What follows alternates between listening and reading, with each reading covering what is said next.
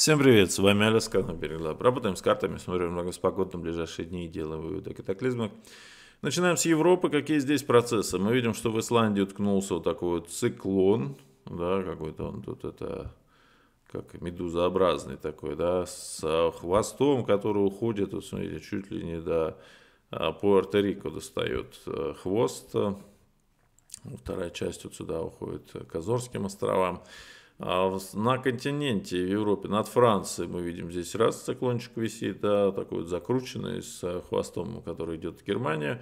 И как отдельная система, хотя это по сути хвост, э, тоже в Северной Италии мы сейчас видим не погоду, который хвост тут уходит сюда.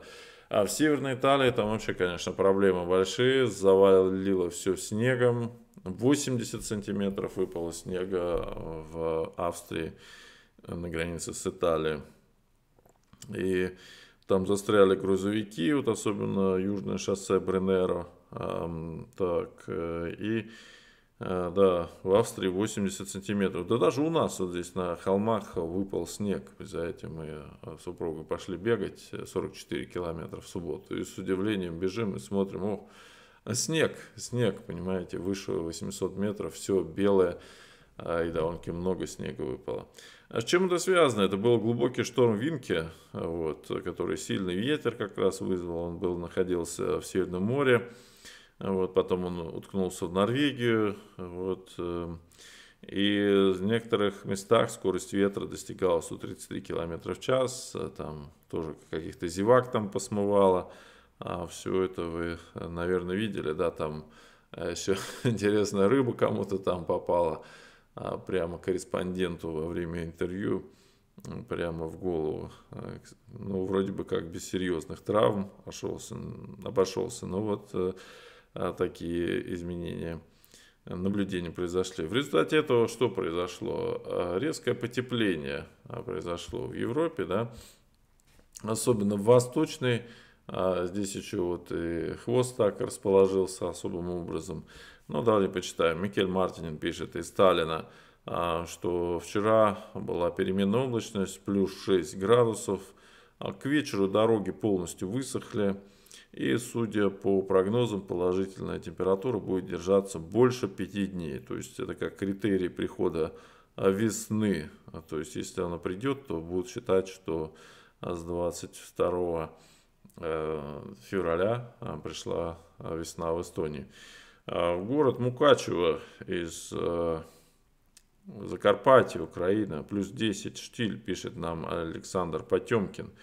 А, ждем сегодня суточный и месячный рекорд тепла. А впрочем, как завтра и послезавтра. Видите, вот что шторм ушел на север сюда, в Северный Ледовитый океан, но он за собой затягивает этот теплый поток воздуха.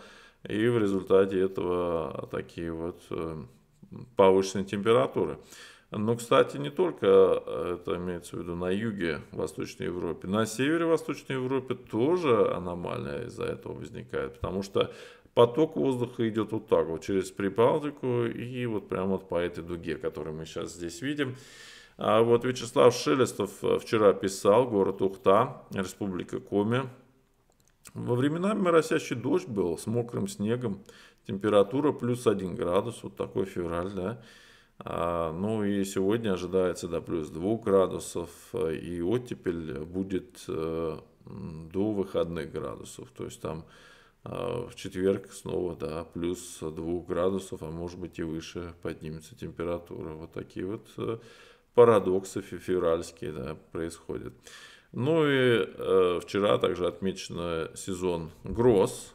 Сезон гроз был отмечен, да.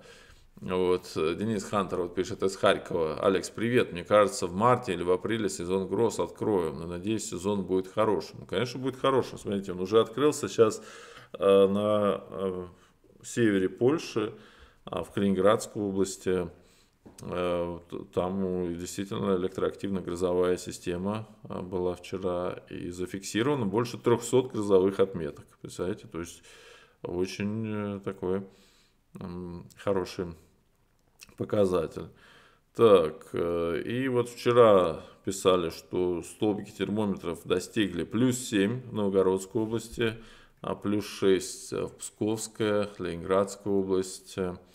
Вологодская область. Так, вот из Минска юзер М2 пишет, Минск плюс 10, еще теплее стало. Да, вчера вот плюс 14 градусов было в Беларуси, представляете? Вот такие вот э, интересные погоды наблюдаются. Так, э, на Кубани, на Кубани пишут нам тоже тепло.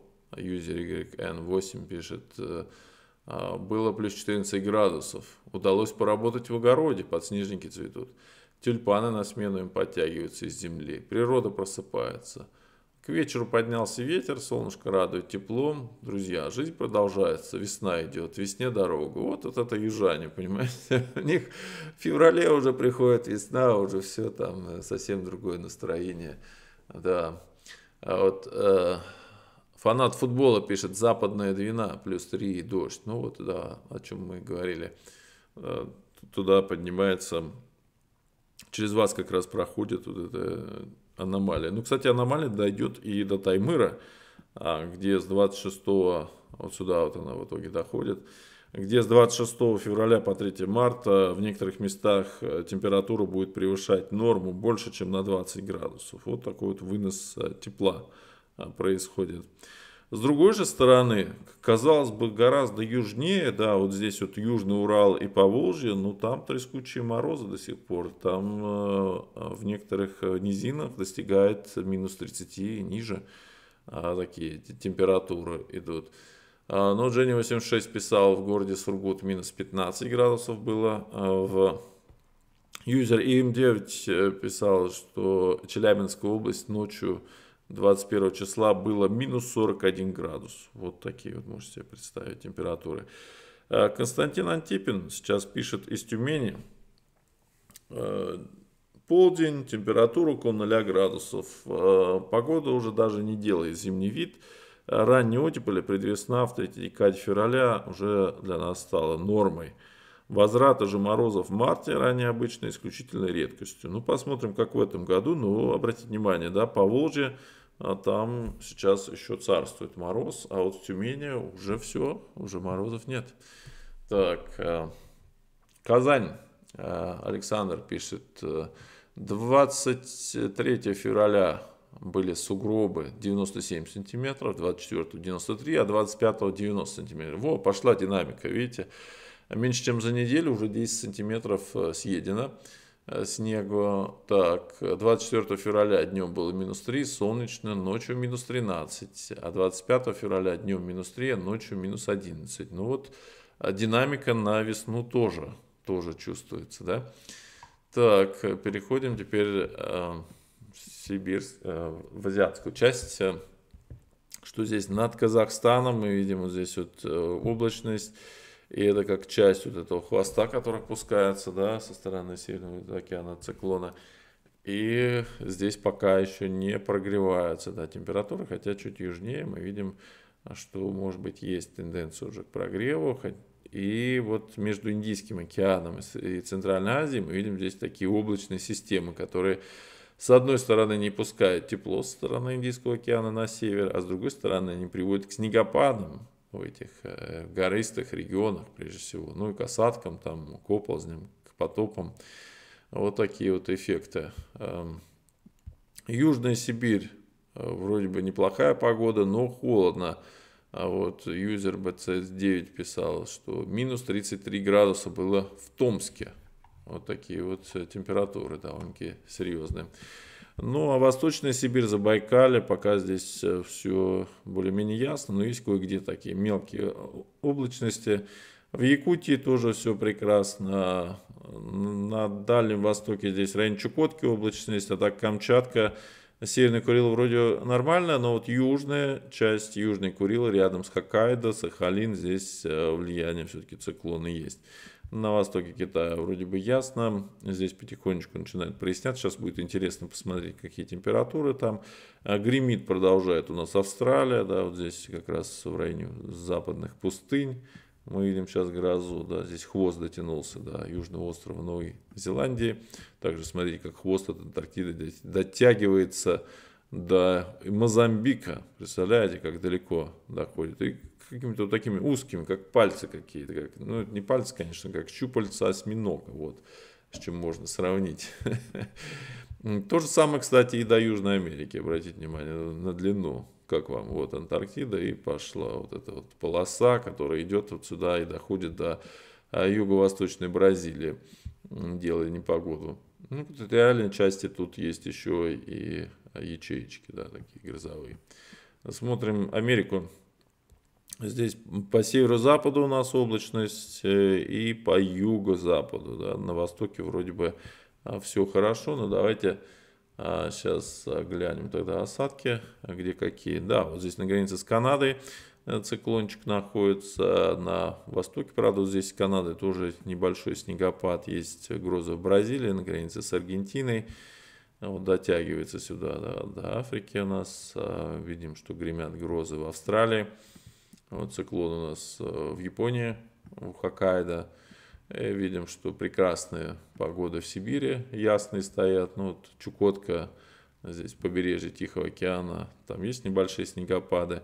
И вот такой хвост опускается в Казахстан, граница Казахстана и Южной Сибири, здесь небольшой снежок. А так мы видим два ядра. Да. Одно ядро как бы откололось. Вот здесь такой разделительный хвост получается, да, то есть было это все единая антициклональная система, сейчас, смотрите, распалась на части, на много частей даже.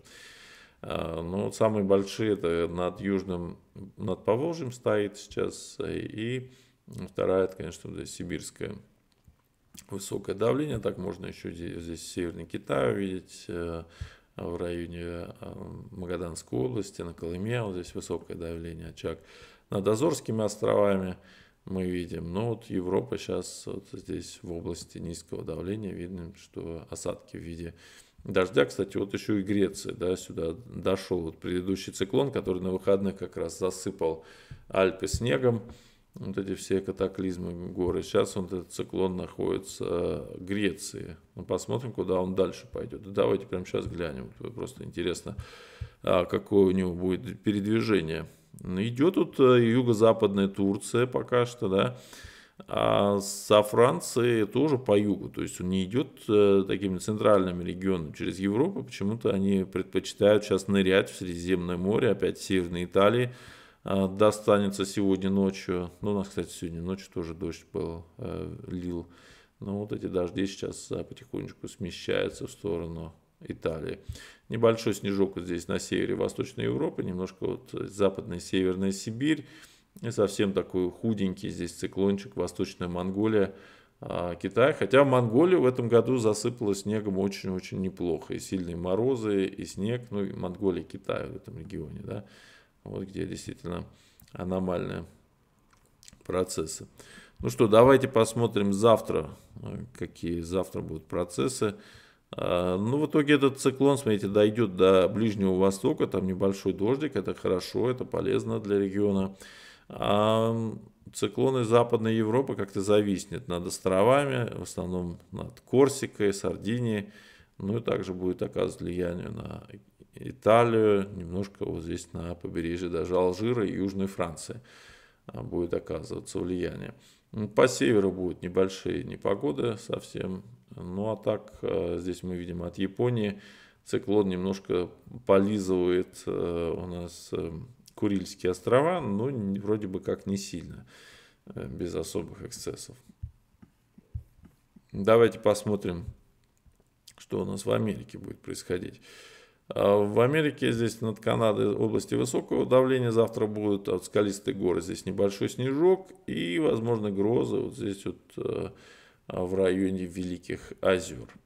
Так, ну что, переходим к разбору температуры, а, где сейчас а, какие процессы. О, обратите внимание, вынос вот этого тепла, который будет ощущаться на Таймыре, будет происходить э, вот отсюда, практически с западной Сахары, юго-западной Сахары, вот мы видим, да, подъем воздуха происходит через э, Южную Италию, за счет этого циклона он подталкивается, прям проталкивается сюда в сторону Венгрии, Польши, дальше Прибалтика, дальше идет в сторону Белого моря, через Ямал идет э, в сторону э, Таймыра. А с чем это связано? С тем, что циклон вот здесь находится у северной земли и происходит вынос, вот такой вот прям поток воздуха на север.